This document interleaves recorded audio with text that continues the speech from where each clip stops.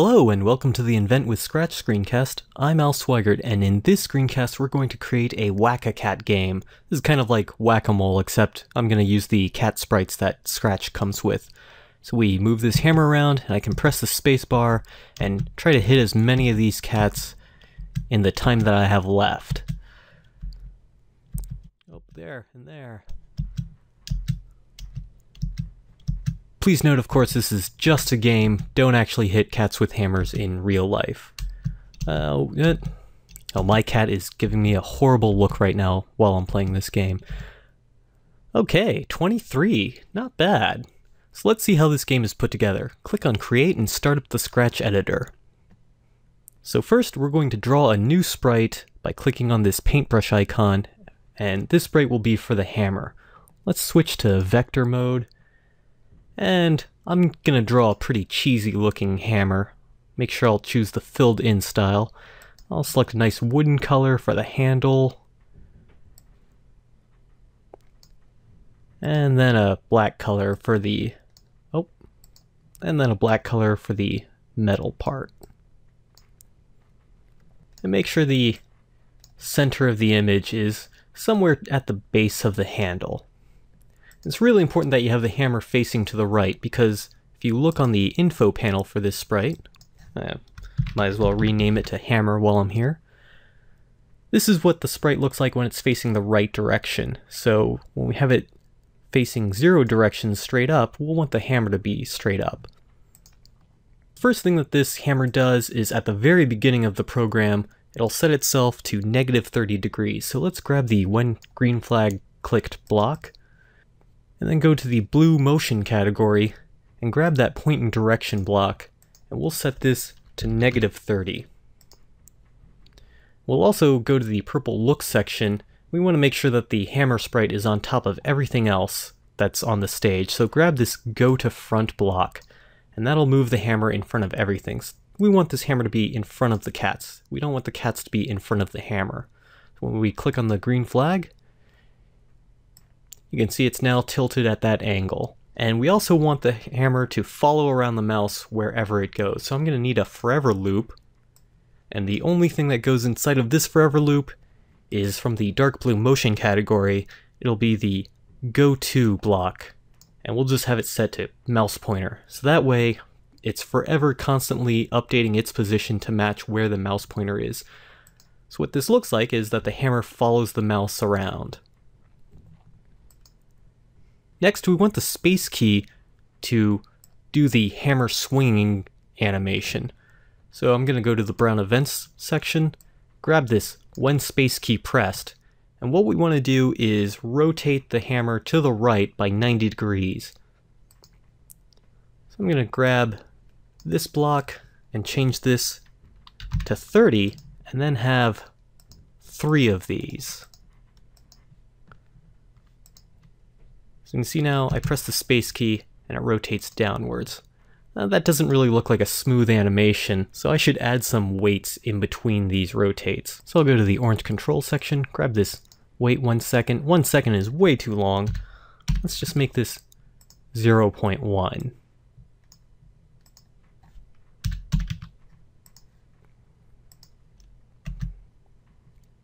Oh, that's a little slow. How about 0.05.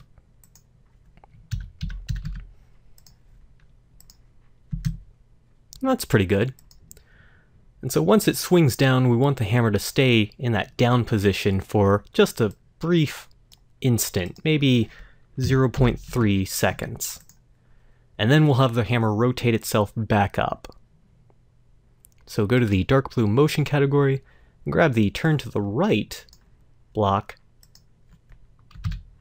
and we'll need three of those as well. And we'll add some more of those waits in between them.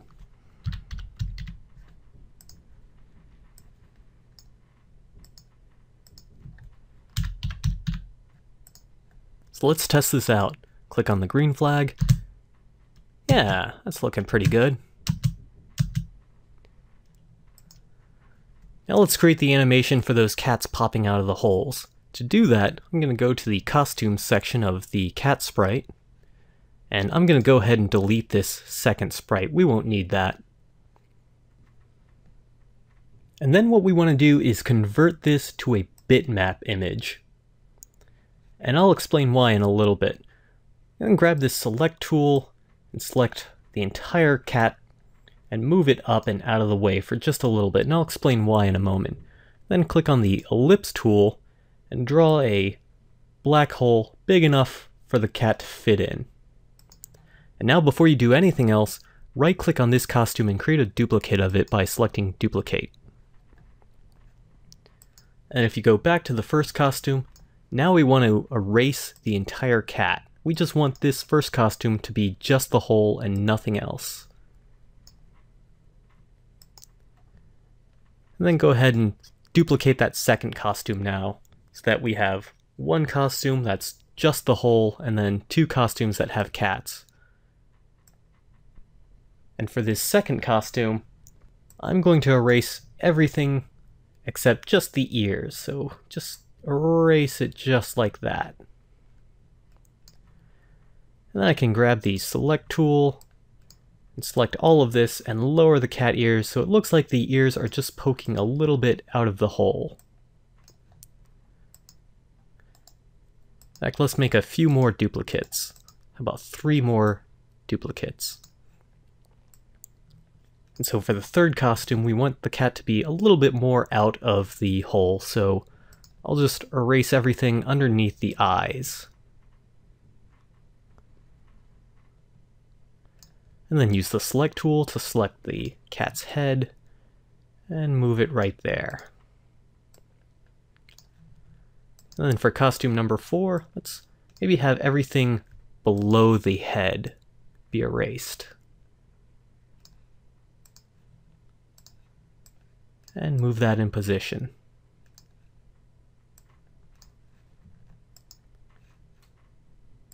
And for costume 5, we can have maybe just the legs be erased.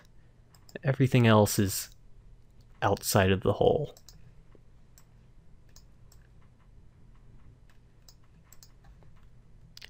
Then for the sixth costume, we can have the entire cat selected, maybe just right there above the hole, like the cat's jumped out of the hole a little bit. Now we need the animation frames for the cat going back inside the hole. We could try drawing them again, but we already have them right here, so select costume number 5 and then duplicate that one. And that'll become the new costume 7. So you can see, here's costume 5, where the cat's going a little bit out of the hole, and then costume 6, the cat's entirely out of the hole, and then costume 7, the cat's going back down. So we duplicated costume 5 for that, now duplicate costume 4, and then duplicate costume 3, and then duplicate costume 2. We don't need to duplicate costume 1 because we'll just have one costume where it's just the hole. So let's go to the scripts section now. So at the very start of the program, we want the costume where it's just the empty hole to be selected. So go to the look section and grab the block that says switch costume and we'll set that to costume 1. Now we'll enter into a forever loop and inside this loop we'll have the cat wait for a random number of seconds and then start playing all of the animations where it's popping out of the hole and then going back in, meanwhile checking to see if it's being hit with the hammer. So the first thing we'll have it do is wait a random number of seconds. So grab that wait one seconds block and then go to the green operator section and grab this pick random 1 to 10. Instead of 1 to 10, that's a little bit long, we'll just say 1 to 6 seconds. And now go to the orange control section and grab this repeat 10. We'll keep it as 10 right here. We're going to put a next costume block inside of there. Now the number of costumes and the number we have in repeat has to be the same so that we execute 10 next costumes so it goes through each and every one of the costumes and then it ends up back at the hole. So if we click on the green flag right now to test this out, it's waiting for a random number of seconds. And then the cat pops out. Wow, that was that was pretty fast actually. We need to slow that down a little bit. We'll add a small wait period in there. Let's say about 0.075 seconds. So we can click the green flag and test this out. Yeah, that's a little bit better. But we also need code that checks if the cat is being hit with the hammer. So we'll grab an if block and put it in right there. And this is actually a little tricky. So let's think about what exactly is happening in order to cause the cat sprite to think it's been hit. First of all, it has to be touching the hammer sprite. So we'll grab that touching block from the sensing section. But not only that, it has to also have the hammer in that swung down motion. So remember, the hammer starts off at negative 30, and it swings to the left by 90 degrees, so it'll end up at negative 120. So for the cat sprite right here, we need to grab this operators section's equal sign, and go back to sensing, and there's a block down here that says X position of hammer. This allows us to grab the one of the attributes of a different sprite and use it inside this sprite, which is the cat in the hole sprite. So let's click on the black triangle and we don't want X position, we actually want direction. The direction of the hammer has to be equal to negative 120. So it has to be touching the hammer, and the hammer has to be swung down. So we could put one of these conditions into an if block and then put another if block inside that if block for the other condition. There's a different way to do this though. If you click on the green operators section, we can grab this AND block. And the AND condition is only true if both of these conditions on either side of the AND keyword are also true.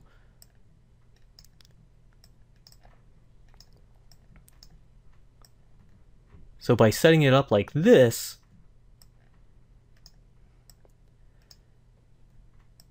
we can say touching hammer and direction of hammer is negative 120. Then we only need one if block. So before the program execution enters this if block and executes the code here, both touching hammer has to be true and the direction of hammer has to be negative 120. It's not enough for just one of these to be true, both of them have to be true. So in that case, we'll just create a variable that says score and make it for all sprites. And we'll change the score value by 1. And then go ahead and have the cat say ouch.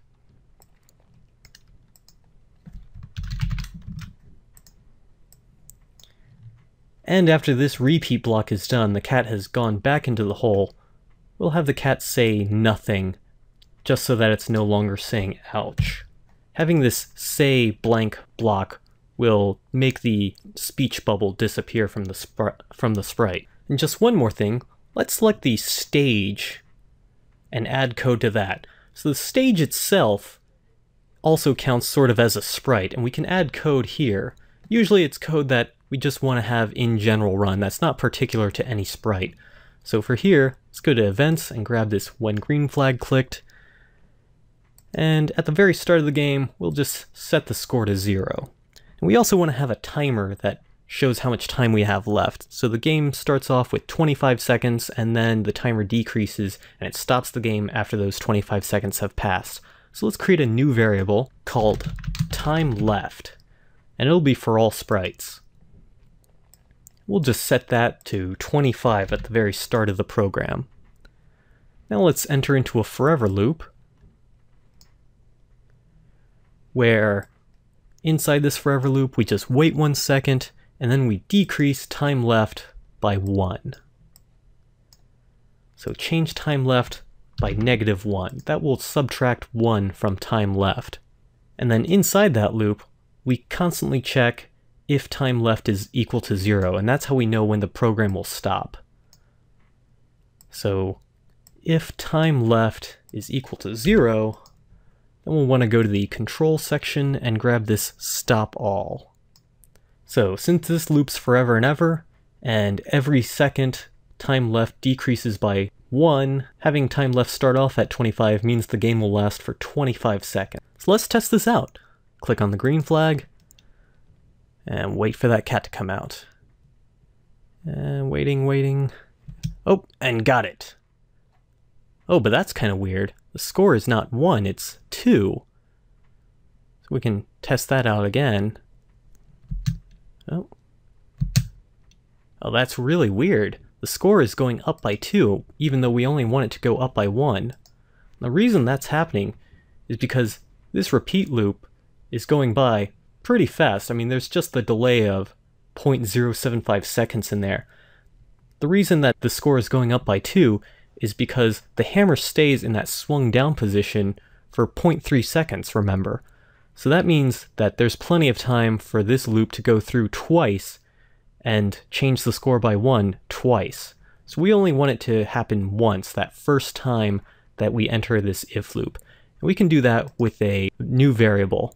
So click on make a variable. We'll say this variable's name can be was hit, and this will be for this sprite only. So was hit will keep track of if we've already changed the score from the cat being hit already. So at the very beginning of this loop, we'll always set was hit to false. And then inside of this if block, we'll set was hit to true. And then we'll have to add yet another part of this condition so that we only enter inside this if block if was hit is equal to false. So I'm going to have to grab an equal sign, and grab was hit, if was hit equals false. But I only have two sockets for that AND block, but fortunately we can just keep adding more and more AND blocks for our conditions. So I'll just grab this and put that there, and then put this in there. All right, so if was hit equals false, and the cat sprite is touching the hammer, and the direction of hammer is negative 120, then we want to change the score by 1 and have the cat say ouch. We'll also set was hit to true, so even if we loop around again, this part of the condition will no longer be true. So that means the entire condition will be false, and we'll skip the code inside this if block. That's how we can prevent this double scoring from happening. So let's click on the green flag and test this out. Come on, come on. Bam! Alright, yeah, it only increases by one. That's great. So at this point, I'm going to just hide this variable because we don't need that displayed. And all we have to do now is just duplicate these sprites so we can have as many of these cats popping out as we want. I'll just keep duplicating these. However many you want. Let's space these out more evenly.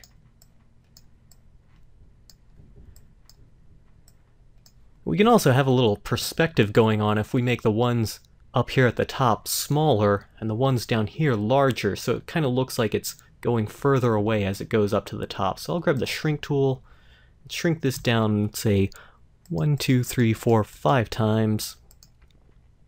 Shrink this one, two, three, four. One, two, three, four.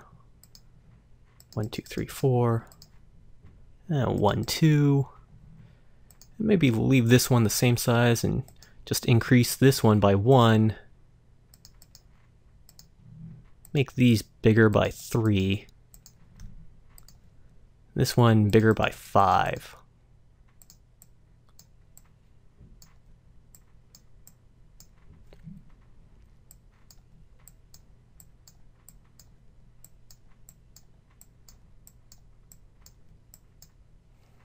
Okay, that's the complete game. We can maybe even make these a little bit more wibbly wobbly. We'll just rotate this. Maybe make this one kind of sticking out right there and this one wobbling that way. That's pretty good. Let's test this out. Click on the green flag. All right. We have cats coming out all over the place.